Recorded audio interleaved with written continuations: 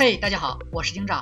今天继续大家讲美国恐怖片《最后一次驱魔》的第二部。在上一部的末尾，小天真被一群邪教徒捆绑，献祭给了恶魔阿巴伦。被其信仰的牧师高喊着“哈利路亚”冲向了恶魔，现场顿时火光一片。最终，牧师等人全部葬身火海，只有小天真这个被恶魔选中的少女侥幸逃脱。几个月后，小天真闯入一栋民宅，被民宅的主人送到一所疗养院接受精神治疗。此时此刻，小天真已经忘记了那段痛苦的回忆，只依稀残留对恶魔的恐怖记忆。心理学家老福开办了一家创伤少女关怀机构，他希望通过科学的方法帮助小天真远离宗教对她的影响，帮他找回。健康，过上正常人的生活。在老夫的循循善诱、悉心教导下，小天真十有八九的相信那些所谓的灵异现象只不过是幻想而已。在老夫的机构里，还有许多因各种各样的问题住进来的秘制少女。小天真很快就跟他们打成了一片。为了更好的融入社会，小天真还干着一份宾馆清洁的工作。虽然时常还会被噩梦困扰，但相较之前实在好太多了。他很满足于现在的生活。直到一天晚上，同居的一个姑娘口吐白沫，四肢抽搐的倒在地上。就此，小天真的生活再次陷入混乱。工作中，小天真认识了一个淳朴的男孩，咱们叫他壮壮。两人互生好感，尝试了解对方，结果开启了一段悲剧的恋情。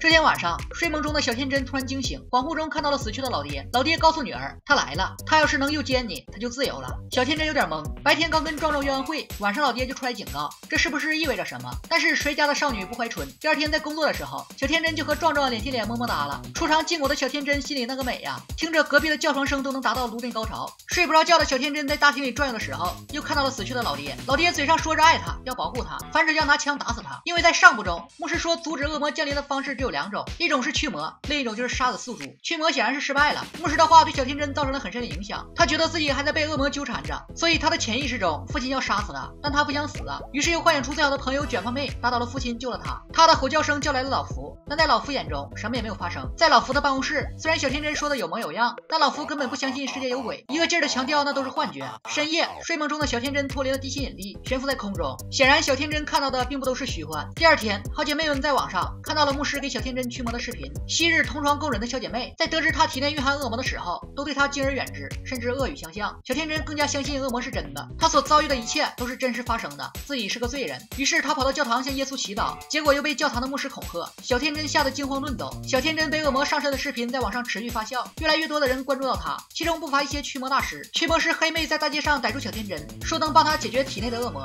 结果一溜十三光的召唤，恶魔是出来了，但黑妹根本控制不住。差点没被恶魔附身的小天真操控刀具怼死。心有余悸的黑妹告诉小天真：“你体内的恶魔太强了，我一个人对付不了。但你别怕，老娘回去叫点人，咱们择日再战。”另一边，壮壮在电视中看到了小天真被驱魔的视频。视频里是小天真的自述。小天真问恶魔：“我漂亮吗？”恶魔说：“漂亮。”你这么漂亮，怎么能是个凡人拥有的？镜头一转，小天真来找壮壮。壮壮对小天真说：“他很爱你，我从来没有真的爱你。”然后操起刀就割颈自杀了。显然，壮壮相信了恶魔的谎言。壮壮的死让小天真痛苦不已，他决定直面体内的恶魔。当天晚上，黑。妹找来两个同行，三人联手来个鬼界的三英战吕布。随着仪式的展开，小天真体内的恶魔被他们唤醒，小天真痛苦的嘶吼着，挣扎着。三个驱魔师只有看的份，最后得出结论：恶魔太强了，咱们的三个法力不够，这么下去全都得玩完。于是带头的驱魔师对小天真说了句对不起，完了就拿出吗啡，要给小天真来个安乐死。说好我不入地狱谁入地狱呢？恶魔你召唤出来了，干不过就要杀死宿主，你考虑过小天真的感受吗？最终吗啡并没有杀死小天真，小天真与恶魔合二为一，挣脱束缚后就刚死了三个驱魔师，然后跑到创伤。少女关黑机构杀死了老福，怼死了小姐妹，然后放了一把大火。电影就在小天真的邪魅一笑中落下帷幕。本片完，好了，今天电影就到这里，最后现场观看，拜了拜。